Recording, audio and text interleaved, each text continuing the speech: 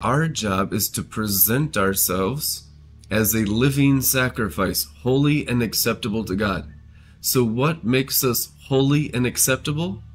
The Bible says, the presentation of your body to the power of the Holy Spirit. There is no person more successful than the person yielded to the Holy Spirit, making their heart and their mind the throne room for the Holy Spirit. So sanctification takes the human heart and the human mind and gives it to the Spirit of Jesus Christ for Christ to dwell in us. That's why it's called a hope of realizing the glory. Meaning, to realize the glory, you must be purified from self. You need to test your thoughts. The Bible says, test every spirit to see it's from God. So if it's not from God, what is it from? Man.